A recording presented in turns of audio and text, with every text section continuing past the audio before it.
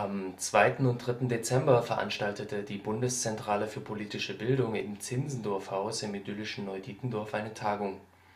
Aktuelle Tendenzen in der Jugendmusikkultur sowie Herausforderungen für die politische Bildung wurden in Diskussionen und Workshops ausdifferenziert. Wir stehen hier heute mit Nicole Pfaff.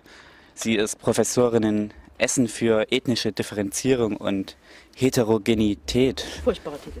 Inwieweit ist der Rechtsextremismus eine Jugendkultur? Boah, schwere Frage. Ähm, der Rechtsextremismus ist natürlich nicht nur eine Jugendkultur, ne, sondern ist eine gesellschaftliche Bewegung, eine soziale Bewegung könnte man sagen, eine ideologische Bewegung. Er ist für Jugendliche in dem Moment besonders relevant, weil er Deutungsangebote macht, die wir brauchen im öffentlichen, die wir alle brauchen, ne, im öffentlichen Diskurs. Ähm, und die sind gefährlich für die Demokratie. Und von dem Hintergrund muss man sich intensiv mit ihnen auseinandersetzen.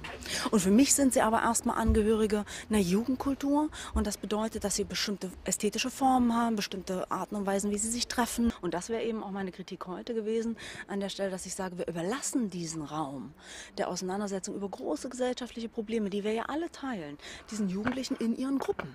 Und das ist ein Problem. Also da würde ich sagen, müsste die Gesamtgesellschaft viel stärker über grundsätzliche äh, Probleme diskutieren, als wir das im Moment tun. Und vor dem Hintergrund haben so eine Räume und hat auch diese Musik, ja, Lanza oder so eine Band oder jetzt auch Freiwild, wo man nochmal fragen kann, ist das wirklich rechts, was da gesagt wird? Ne? Die, Im Prinzip besingen die nur ihre Heimat. Aber wir überlassen genau die Deutung dieser Lieder, die überlassen wir den Jugendlichen selbst. Wie kann man dieses Problem beheben, dass die Kinder nicht in radikale Richtungen gedrängt werden? Was kann die Gesellschaft da tun? Also mein erster Hinweis wäre tatsächlich nochmal, dass wir grundlegende gesellschaftliche Fragen alle miteinander behandeln. Mhm. Ne? Und ähm, dass wir uns sehr sorgfältig angucken, was die Jugendlichen da tun. Ich glaube nicht, dass es die Lösung ist, dass wir ihre Praktiken äh, pädagogisch bis zum Umfallen kontrollieren. Ne? Ich glaube, das kann es auch nicht sein. Aber an den Stellen, wo wir sehen, das äh, sind schwierige Auseinandersetzungen, dann kann man versuchen, in den Diskurs einzugreifen. Und das muss nicht immer mit der pädagogischen Keule oder mit dem Zeigefinger sein. Ne? Wir stehen hier heute mit Daniel Köger und was er genau macht, das erzählt er mir jetzt am besten. Ja, ähm, meine Hauptaufgabe ist der äh, wissenschaftliche Leiter der Forschungsabteilung von dem Zentrum Demokratische Kultur in Berlin, worunter auch Exit Deutschland fällt, dem Ausstiegsprogramm für Rechtsextremisten. Werden Menschen durch die Musik ähm, im rechtsradikalen, in der rechtsradikalen Szene aktiv? Ja, also da gibt es verschiedene Möglichkeiten, wie sich da Musik und das Aktivwerden zusammenfinden. Also auf der einen Seite kann man natürlich durch die Musik in die Szene kommen. Man kann auf einem Konzert, durch einen Tape, durch eine CD, durch eine Band äh, überhaupt erst mit der Ideologie, mit der Szene in Berührung kommen. Also viele Aussteiger bei Exit haben das erzählt, dass die, überhaupt die erste Berührung damit war, früher einfach eine Kassette, ein Demo-Tape, was auf, der, auf dem Schulhof getauscht wurde. Man hat das gehört und hat sich dann das erste Mal überhaupt mit den Inhalten beschäftigt. Wie rechts ist denn die deutsche Musik?